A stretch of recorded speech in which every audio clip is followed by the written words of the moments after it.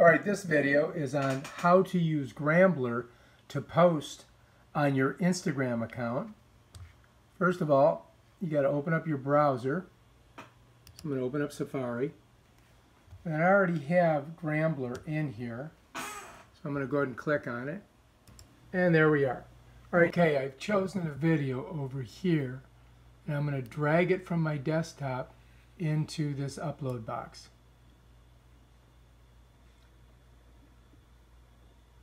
And it takes a while.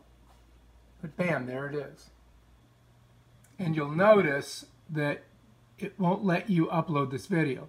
So what you need to do is take your cursor, slide it all the way over. It becomes like a little kind of cross, and then drag this across.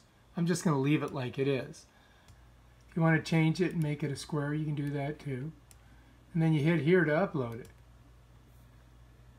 And that could take a while. And then when to go over here. I'm going to type in, you know, whatever I need to type in. And then if you want to do, you know, whatever your hashtags are, I'm just typing nonsensical stuff. And then you come down here and you hit send. And it takes a little bit, but it'll get there. I mean, it's a video, so it takes a while.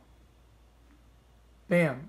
And that tells us that we have been successful and it has been posted on your Instagram file.